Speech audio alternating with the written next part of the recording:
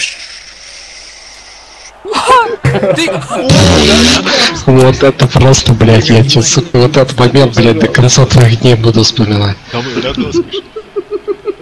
Отвечаю, блядь. Бот.